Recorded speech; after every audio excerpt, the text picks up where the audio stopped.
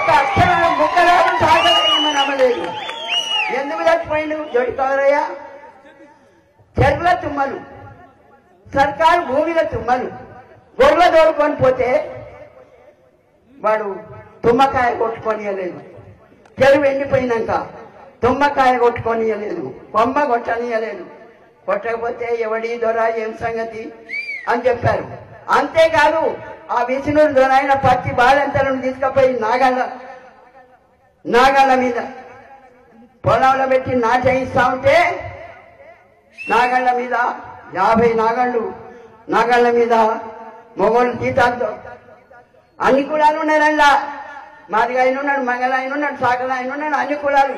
ఉంటూనే ఉన్నాడు ఆడవాళ్ళను జుట్టు పట్టి తీసుకుపోయి పచ్చి బాలంతల పిల్లల్ని తీసు తల్లుల్ని తీసుకపోతే బాలంతలు నోరెండి చచ్చిపోయిండు చచ్చిపోతే పాలు ఏదో దూర నీ కాలు మొక్కుతానంటే రొమ్ముల చెయ్యేసి పాలు పెట్టిండు అప్పుడు పాడిన నేను దొరబిడనే ఆ దుర్మార్గాన్ని సహించలేక పత్తి బాలంతలను ఉయ్యాలో ఆ పాలివ్వలోలమని ఉయ్యాలి.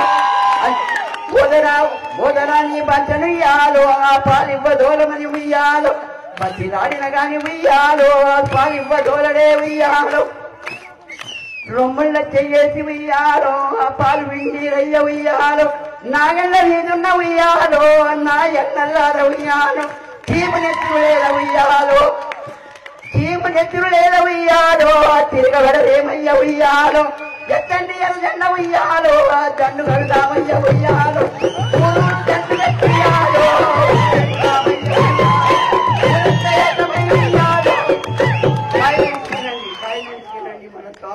సోమన్న పాపం మీరు వినకపోతే ఆయన బాధపడు మీరు వినాలి.